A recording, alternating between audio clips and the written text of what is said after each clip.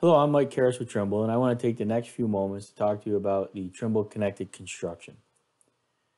With Trimble, when we look at a construction project, we have technology, hardware, and software that fits throughout the entire process or life cycle of a construction project, from the concept and design phase to the schedule and project management phase, the execute construction phase, as well as the own, operate, and maintain phase. Today, I want to focus on just the execute and construction phase and three core products known as Trimble Business Center, Trimble Works Manager, and Trimble Works OS. These technologies are all connected and meant to work together.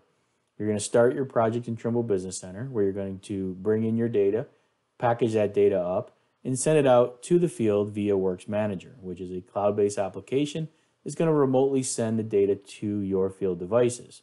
In this case, maybe possibly Trimble SiteWorks or Trimble Earthworks, Groundworks, and even SiteVision. You're then going to be able to measure data out in the field as you construct it, and you're going to send that back through either Works Manager or Trimble Works OS back into Trimble Business Center.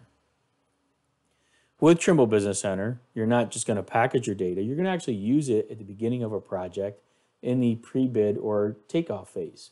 And in the takeoff phase, you're going to be able to import data such as CAD files, PDF files, land XML files. You're going to generate earthwork volumes and report out your material quantities to do your estimate for your bid. You can take your estimate to the next level by using the site and corridor mass haul tools to really optimize and plan how you're going to move the material out on site. You can optimize your haul roads and even figure out where to put your borrow and weigh sites so you can get an accurate, an accurate bid and a more competitive bid. Once you win the project, you'll be able to bring that data back in or continue to use the data in Trimble Business Center through the construction data prep phase. Here you'll be able to create the data for stakeout. You'll be able to create your 3D models for your machine guidance and even manage any design changes and then quickly get that data back out to the field again through Trimble Works Manager. Throughout the project, you're going to continue to use Trimble Business Center to measure your productivity and even do your QA and create an as-built surface. And then you'll be able to report out your production values. With Works Manager, it's more than just sending data to the field. You're going to be able to see where your projects are located. You'll be able to track your device locations as well as see what devices are working and how they're working and what design they're working with. This way you can make sure they're using the most current design on your project.